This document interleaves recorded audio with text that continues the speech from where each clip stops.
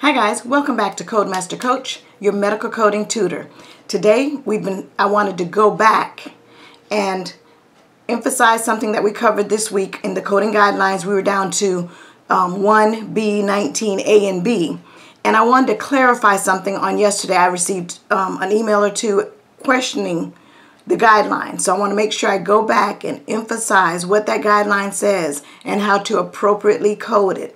And then I also want to end this video with giving you some exercises to code based on what we talked about this week on external cause coding. Okay, first let's look at this guideline. All right, we were talking about the external cause of morbidity code issues.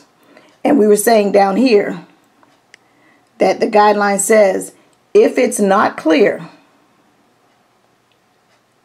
whether the injury was a direct result of the hurricane, assume the injury is due to the hurricane and assign code X37.0 hurricane as well as any other applicable external cause of morbidity codes. And the question was how do why do we assume?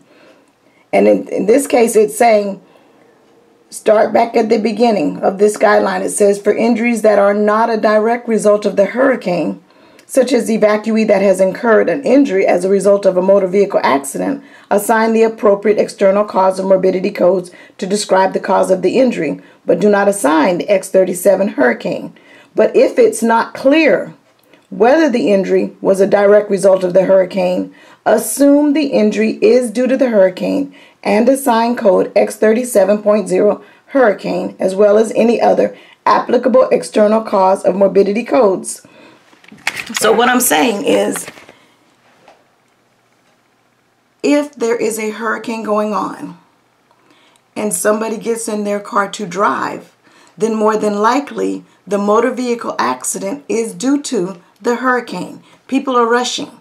So assign that if it's during a hurricane, assign that X37.0 external cause code for hurricane first because we learned it takes priority over any of the others, right? This week we talked about that. Hurricane takes um, priority or precedence over any other external cause codes except child abuse, adult abuse, and terrorism. But hurricane is right in there. Those take priority. And then the motor vehicle accident in addition. So if it's during a hurricane and a person has a motor vehicle accident, hurricane code goes first. Had there not been a hurricane, then code the motor vehicle accident external cause code first. So that's what that guideline is saying. If it's during a hurricane, then the hurricane ultimately is the responsibility or the responsible agent for the um, motor vehicle accident. All right, your other request to me was some exercises that you could practice your external cause coding with. So let me give you a couple of those. And let me emphasize this, because when I give you exercises, some of you will come back and say, will you do a video showing us how you got your answers? So if you have any problems with these exercises that I've given you, and I'm going to give you the answers at the end, and you still can't figure it out, email me at codemastercoach at gmail.com, and I'll show you, I'll walk you through how I got the answers. Okay, guys? All right, here's your exercises.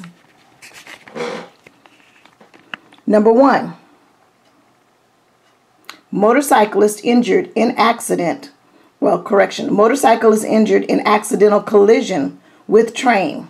And I'm asking for just the external cause code. Okay. Number two, passenger injured in accidental derailment of train.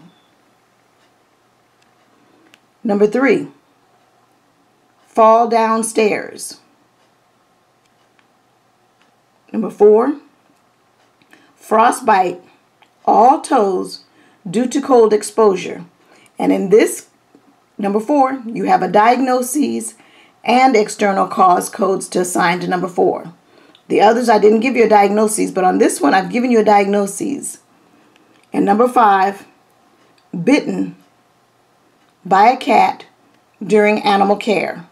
So in number five, I've given you an external cause, but I've also given you the activity that was done during this external cause. So let's look back at them one more time. Number one, motorcyclist injured in accidental collision with train. Number two, passenger injured in accidental derailment of train. Number three, fall downstairs. Number four, frostbite, all toes due to cold exposure. I'm wanting a diagnosis and the external cause. And number five, bitten by a cat during animal care.